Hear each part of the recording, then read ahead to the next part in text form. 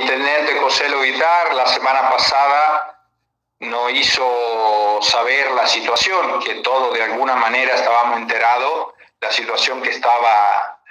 eh, cursando la enfermedad en el departamento Alberdi y que lamentablemente había mucho contagio y había alrededor de mil personas aisladas y nos pidió colaboración a través del consorcio para poder ayudar a toda aquella persona que estaba necesitando.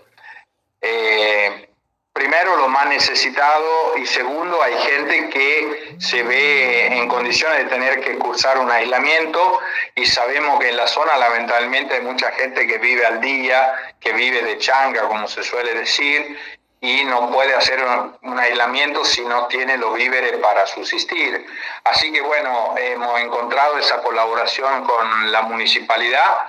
y hemos donado muchos integrantes del consorcio, casi todos han participado, han adherido a esta colaboración donando animales para faena y también medicamentos. El intendente eh, nos pasó una lista de lo que son los,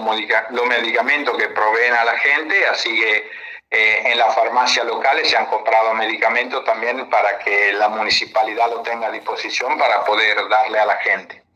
Y yo creo que en este momento todo aquello que puedan aportar algo es necesario que lo hagamos, porque yo creo que de esta se sale entre todos. Es muy difícil eh, salir solo y hay mucha gente que puede menos, así que realmente eh,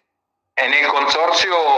creemos que no hemos hecho nada excepcional, nada más que hemos contestado a un pedido que nos parece muy criterioso y, la verdad que en el momento que haga falta siempre desde el consorcio tratamos de colaborar para, el pueblo o por todo lo que haga falta, por la comunidad.